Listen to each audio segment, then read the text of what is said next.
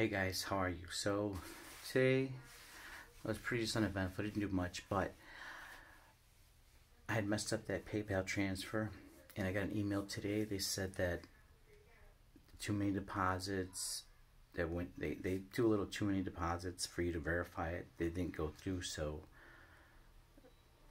they just deleted that account that was on the PayPal account, and then the money's back on my account.